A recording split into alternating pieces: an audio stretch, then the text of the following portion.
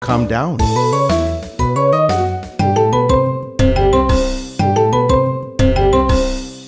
Phew, I have finally reached.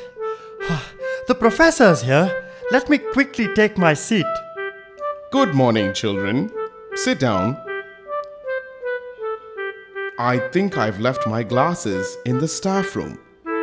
Dog, could you please go and fetch them for me? Of course, Professor.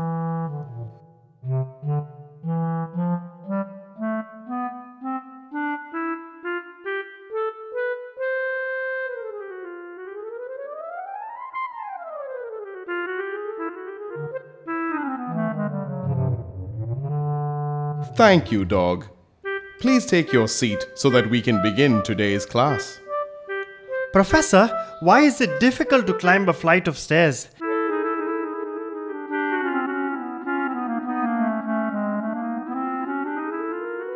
It is much easier when we go down.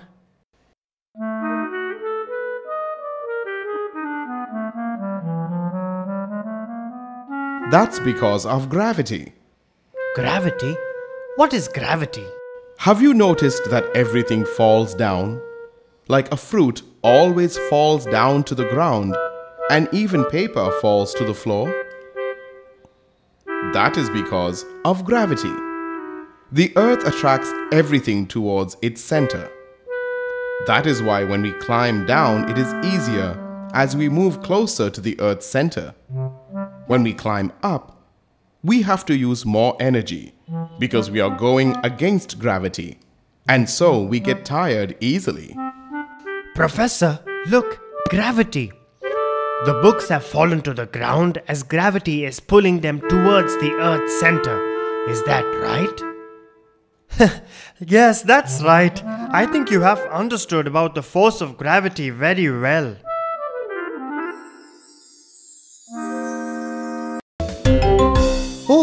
Look at this picture of dog. It looks like he is going to attack all the food.